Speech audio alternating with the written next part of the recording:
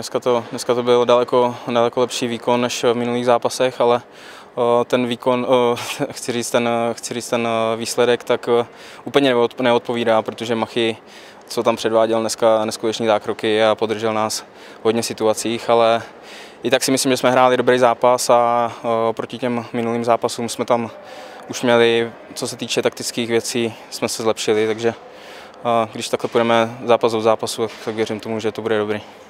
Jo, tak je pravda, že bylo to hodně, hodně fyzicky náročné dneska, hodně, hodně, dohraných, hodně dohraných soubojů a, a jo, bylo to takový vyhecovaný. A je pravda, že z to takhle bývá i v sezóně. No. Tak uh, už jsme se snažili tam uh, trošičku dát víc těch taktických věcí a uh, hlavně, hlavně jsme chtěli být agresivnější dopředu, co se týče do útoku a já si myslím, že se nám to dneska dařilo.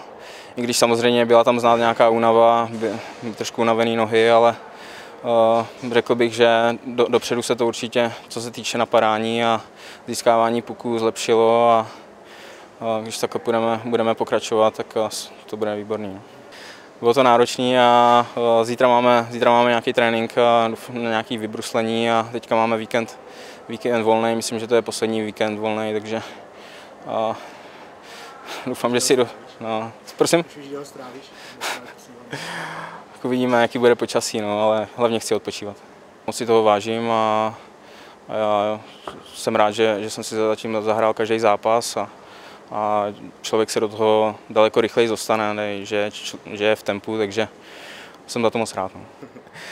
Já myslím, že, že dobré, jako tam asi nebyla žádná situace dneska, co by tam musel nějak řešit, si myslím, ale jo, Bůh to je vůči typ a uh, umí říct i v kabině něco, takže dobrý kapitán určitě.